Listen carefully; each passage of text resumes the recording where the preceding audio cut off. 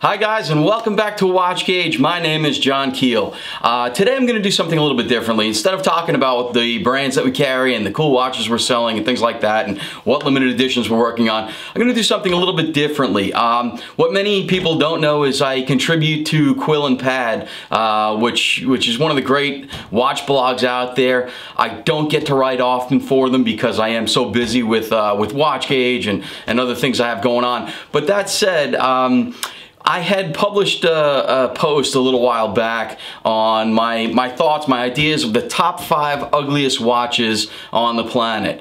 Now, um, you know, I, I, I, ticked a lot of people off, I think. I, I, I hit a couple nerves. But look, this was all in fun and I think uh, today I thought it'd be a lot of fun to kind of do a video version of that not picking out the ugliest watches in the world but ones that I think are, are pretty darn ugly. Um, before we get into that let's let's do uh, a little check of the wrist here. I'm wearing the Elliot Brown Canford um, with the silver dial, blue markings. I uh, love this watch. It's a it's a great piece. It's it's one that I wear uh, banging around quite a bit. It's got a quartz movement in it. It's got a shock absorption system, but I said I wasn't going to talk about our watches. So let's get into it. Uh, I see ugly watches. In your dreams? While you're awake? Often do you see them? All the time. They're everywhere. You know, I, there's no criteria here. I just did a bit of research, typing in uh, to Google ugly watches, ugliest watches, hideous watches, things like that, and some fun stuff came up. There's a lot of cool threads like this in the message boards and the forums. Um, but let's kick it off. The first, the first ugly watch that I saw that really made me just kind of squint um, is is the Montegrappa Chaos. I mean, this watch is absolutely hideous. It's, uh, what do I say? It's got snakes and it's got skulls. It's it's just foul. Um, and anyway, uh, the next one that I that I saw, and, and I didn't even realize it was a watch. Take a look at it here. This is a watch by a company I've never even heard of, and I'm gonna glance down here at my notes. It's uh, it's Greco Geneve, and uh, no offense, Mr. Greco or whoever's behind the brand, but basically what they did was they took a piece of an asteroid. It's, it's the, the name of the watch is the asteroid. But they took a piece of a meteorite and they looked like they milled it out and just stuck a movement in there somehow. Um, but it's it's far from attractive for sure. Um, and you know, look, if, if, you own it, if you wear it, I don't mean to offend you, uh, but this is all good fun. I stumbled upon a watch when I was doing the research uh, originally on on ugly watches, probably about two years ago when I wrote the article. Um, and one that came across was one from the 80s, and it looks like it's from the 80s, which is this guy here. This is the uh, the Corum Rolls-Royce watch. Um, it just screams gaudy, and and it's meant to mimic the the grill of a Rolls-Royce car. And, uh, you know, I'm a big fan of, of Ali G and uh, the movie The Dictator and everything that Sacha Baron Cohen does. So this watch instantly reminded me of Ali G. Now next up is a brand I you know, it gets a lot of flack, but I happen to like a collection of their watches. I happen to be a big fan because I'm an 80s kid. I happen to be a big fan of, of Romain Jerome's um, classic arcade watches with, with, they have the Donkey Kong, they have uh, Pac-Man, they have Space Invaders, I believe they have Asteroids, and if you're, if you're close to my age, you know, and, and you grew up in the 80s playing these classic games, uh, I happen to like these watches. One watch that they've made though I really think missed the mark uh, as far as attractiveness goes and it's this Batman watch they did. Um, I guess it's a cool design, it's a cool movement, but you know, if you can imagine this thing on somebody's wrist, I just don't think that uh, that somebody would look and say, wow, that's a good looking watch. I just don't see it. Um, but hey, again, to each their own.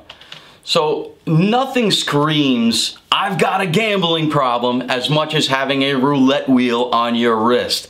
Now there have been a handful of brands over the years that have done a, a gambling or roulette themed style watch. Uh, Franck Muller did one, um, Corum did a bubble version, um, who else? Um, Oh, the one one I happen to like actually is Christophe Claret's uh, poker watch. This roulette wheel is on the back of the case, but to make the ugly watch list is the roulette wheel by Azimuth.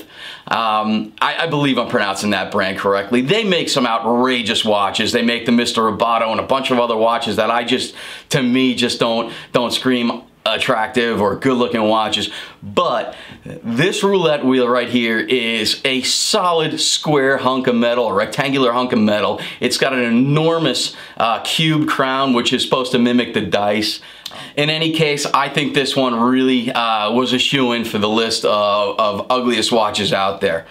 The next one up on the list is the Krieger skeleton skeleton. I think that's what they call it. Um, this watch, I don't know why. This watch just, I, think it's not even so much as how ugly the watch is, but the advertising campaign and the marketing behind it. I mean, if you look at the watch, it's got a skeleton movement that to me isn't really finely finished at all. And then to put this skeleton in the face that actually looks like, to me, it looks like Sloth from uh, the Goonies um, once he removed all of his skin and everything else. Um, so I, I just think this is a fugly watch, and I also think that the advertising campaign, you know, too too goth for me, too I don't know, too dark, whatever it may be. It just does not. Uh, it, it, screams ugly to me. It just screams ugly. So, uh, so Krieger, you made the list.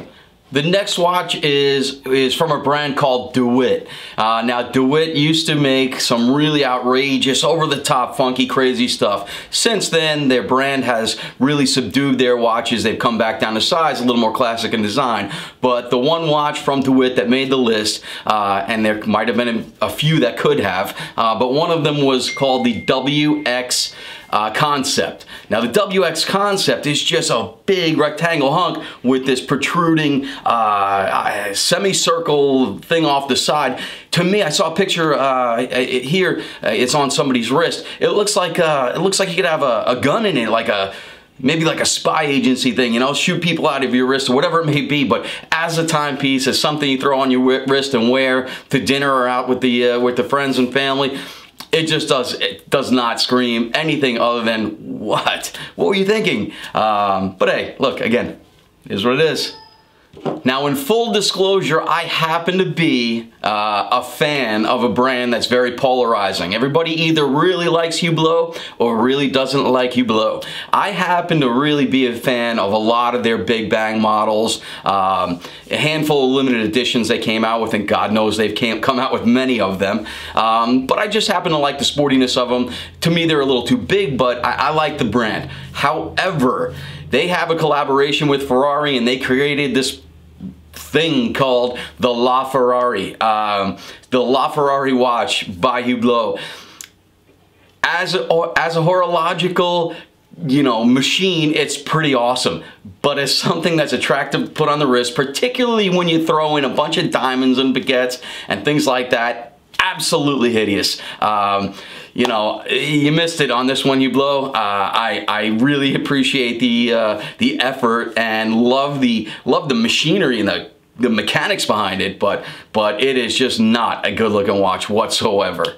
Now this this next watch is what I perhaps think is one of the ugliest watches ever made. Uh, and it was custom commissioned uh, by a gentleman everybody's heard of uh, Kanye West. Now I'm not a fan of Kanye. I think he's arrogant. I, I just I don't like the dude I know I'm gonna get a lot of flack from from Kanye fans out there for that one however um, he had this monstrosity commissioned for himself at a price tag I believe somewhere north of $180,000 with black and white diamonds to depict the likeness of Kanye, and I think brown diamonds too, whatever it may be, chocolate diamonds.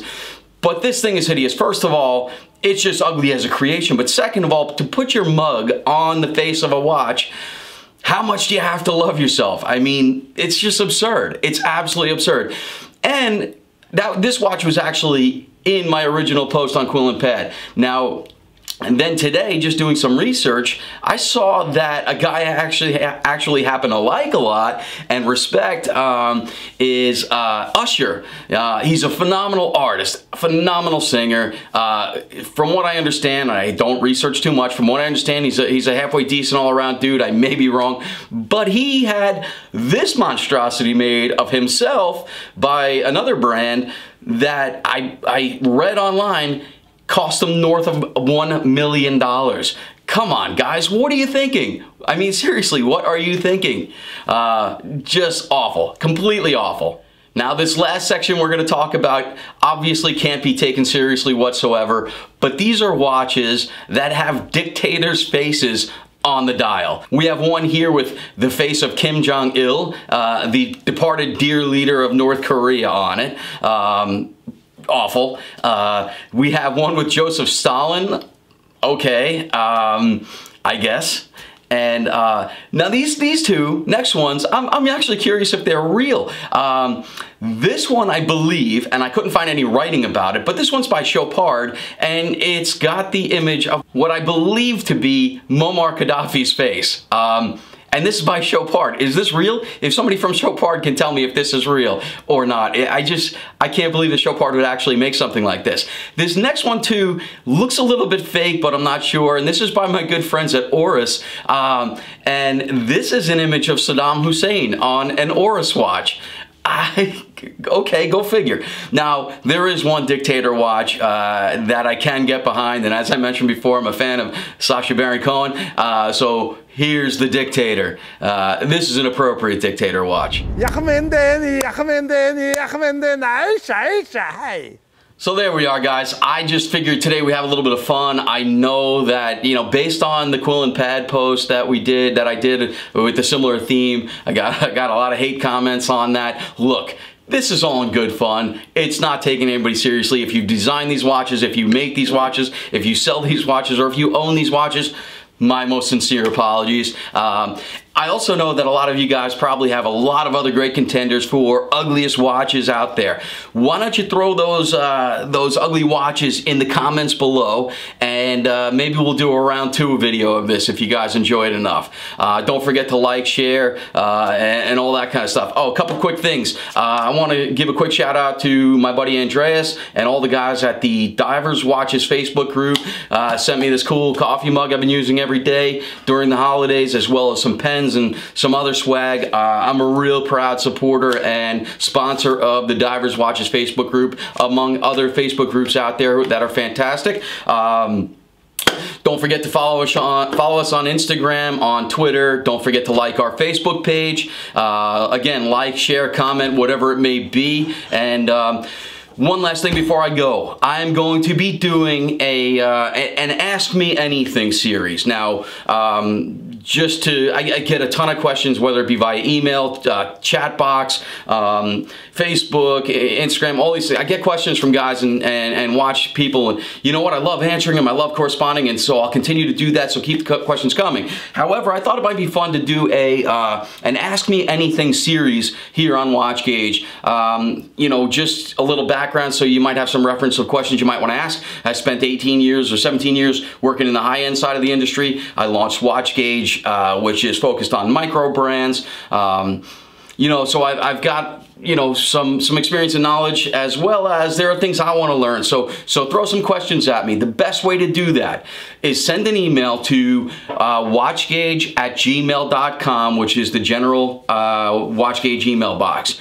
So send an email to uh, your question in, e in an email to watchgauge at gmail.com and in the subject simply put AMA for Ask Me Anything, AMA, in the subject box. And as I accumulate questions, whatever they may be, um, I'll, I'll, start doing a video series on, on the Ask Me Anything series uh, based on the questions you guys send in. So, uh, so feel free to do that. Send an email to watchgauge at gmail.com in the subject line AMA and ask away. Uh, that, I think it's going to be a fun uh, series.